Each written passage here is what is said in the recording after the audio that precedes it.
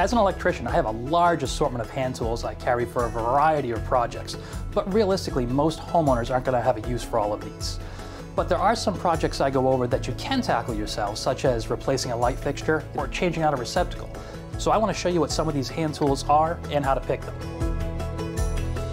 Now, the most important thing to do before you start any electrical project is to be sure the power is off. Now to do this, we can use a voltage tester, and there are several kinds to use depending on what you're working on. So we'll start with this. This is a plug-in tester that we'd use on a receptacle. It's easy enough to plug in, see if it lights up. If it does, it'll tell us there's power. If not, it should be de-energized. If you're working on a wire you're tracing out, you're not sure if it's live, or a light fixture, even if the bulb's out, you can use a, no contact tester. Turn that on. If it's just the green light, no power. If you touch the wire, or pulled it up to the side of the wire and it starts to chirp and turns red, it means it still has power there. So in this case, we're going to replace the receptacle. I'm going to plug the tester in just to make sure it's off. No lights, so we're good. Next, I'll start by taking the plate off. Now that we have that off, we'll use a Phillips screwdriver to take the device out. So now we can take the device out and we can see we have our black wires on the brass screws, that's our hot, our white wires on the silver screw, that's our neutral, and our bare ground wire on the green screw, that's our ground. Now, you can see on this, the wires are really fairly short and they're a little bit difficult to work with. So I always like to cut them off and start fresh. And if we do this with short wires, we're gonna need to extend this. So what we can do is take the lineman pliers, cut these off one at a time, and then we'll take the strippers, and get a little bit of the insulation stripped off. Now because the wire is so short, I want to add a piece of this called a pigtail. So what I'll do is I'll take another piece of Romex, so we can pull the two conductors out that we want, strip that, and then we're going to take the line once again. And what you want to do is you want to line up the cuts of the insulation together. You don't care so much that the length of copper might be different, but you want the insulation to be at the same spot when you twist them. And when you twist, you want to gently twist and kind of pull away at the same time. Then trim it off flush. Install the wire nut. And then you can safely fold that to the back, get it out of the way, and now you can see you have plenty of wire to work with. So we'll do the same thing for the hot.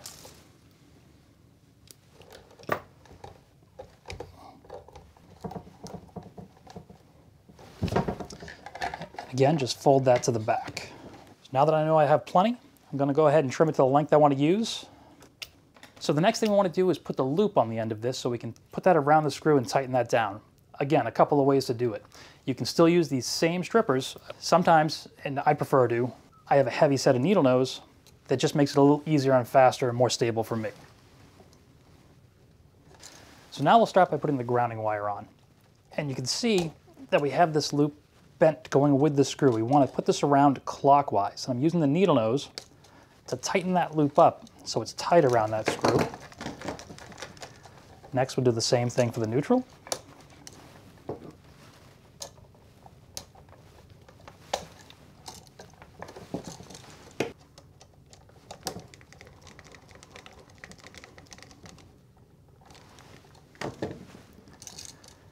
We'll install the hot conductor.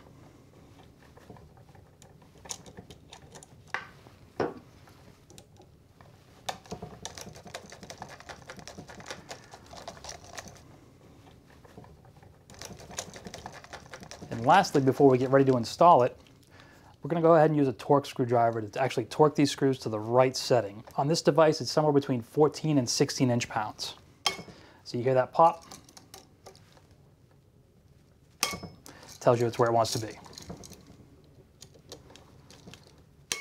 All right.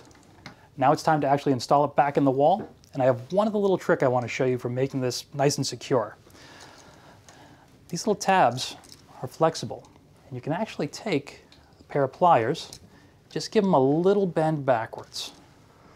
And the reason is, as you start to install this, these ears will connect the drywall first. When it does that, as you tighten it more and more, It makes it very secure. It keeps it from sliding side to side when you go to plug something in. You're not relying on just the plate holding it in place anymore. And that keeps it nice and rugged. And finally, we'll put the plate back on and test the fit. Nice even reveal. And we'll go ahead and screw this back on. After that, turn the power back on and test it.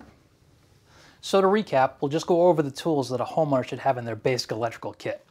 The voltage testers, obviously, a plug-in one and a touchless one. Next would be the wire strippers. This set is my given choice. They have a lot of features on them that you may not realize. The first being is you can actually strip the jacket on an M cable. So 14.2 and 12.2, peel the jacket right off very quickly and easily. You can also strip the individual conductors like we showed. When you go to wrap the wire around a screw, you can use the teeth and bend that loop very easily as well. Every once in a while, you might need something else, something with larger gauge wire that you need to strip, some other combinations that have the flathead as well. So pick what's comfortable for you. But for me, this would be the most common one to use. I'd also grab a set of needle nose. It just makes it easier to do certain projects. If something's in a tight area, if you need to wrap around a screw inside of a box, this makes it much easier. And finally, screwdrivers. A huge selection of screwdrivers, a lot of options. You can keep it simple to start. One of my favorites is always the multi-tool screwdriver. And they've come a long way. These aren't the bits that you used to lose that you'd store in the handle. This is a much different setup with a lot more flexibility. It's actually a nut driver in there as well. Will do most of what you need. Also like a couple of standard ones. Something like this for the plates is easier, a simple straight blade.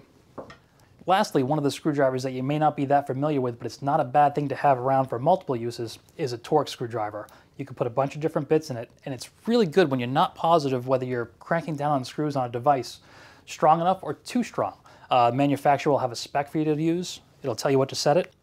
And what you do is you actually turn this dial, set the level of inch pounds that you want this to go to, lock it back in, and when you tighten it, it'll click and pop when it's at the right spot. It's a nice little item to have in the home toolkit.